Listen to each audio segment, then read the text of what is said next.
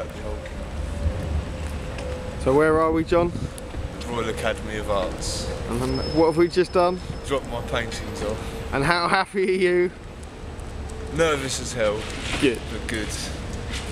So here we are in the company of greatness. We now have a two Jon Rayfield original paintings.